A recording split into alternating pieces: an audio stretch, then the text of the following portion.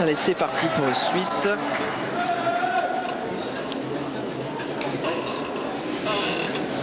Prise d'élan. Salto en dessous à l'équilibre. Ici un élément que l'on appelle Moy, monté par un Français, Willy Moy. Là, c'est pas très net euh, pour le Suisse. Quelques écarts de jambes.